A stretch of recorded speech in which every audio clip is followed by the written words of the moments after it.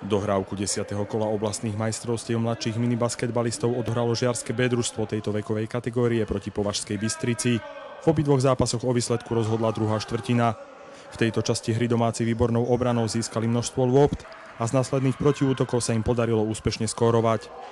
Ďalším dôležitým faktorom v tomto zápase bola skutočnosť, že chlapci ubránili najnebezpečnejšieho superovho hráča. Veľký podiel na tom mala dvojica Balok a Tončík, Svoj najlepší tohtoročný výkon podal Šonkol, ktorý sa úspešne presadzoval prienikmi pod súperov Kôž. Žiar B porazil Považskú Bystricu 40-16 a 38-24.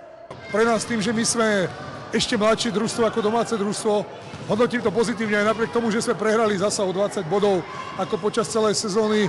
Myslím si, že to bola zasa dobrá skúsenosť, vyskúšali si niečo, dobré, niečo nové, hrali proti inému družstvu a Myslím si, že je to ďaleko lepšie, ako keď sme hrali prvé dva zápasy spolu. Som spokojný s predvedeným výkonom.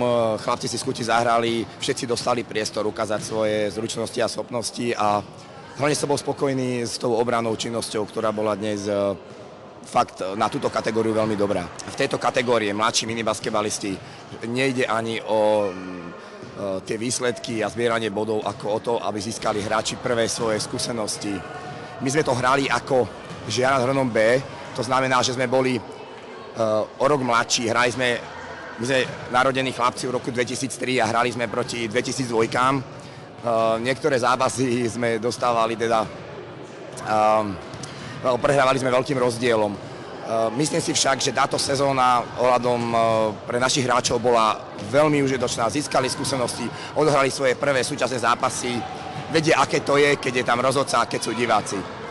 Ja by som chcel e, týmto pádom aj poďakovať všetkým hráčom za, za prístup počas e, tejto sezóny a chcel by som poďakovať aj rodičom, lebo je tu veľmi dobrá partia ľudí, ktorá má záujem o tom, aby deti zmysluplne trávili svoj voľný čas. Dvoj zápasom proti Považskej Bystrici naši mladší minibasketbalisti B ukončili súťažnú sezónu.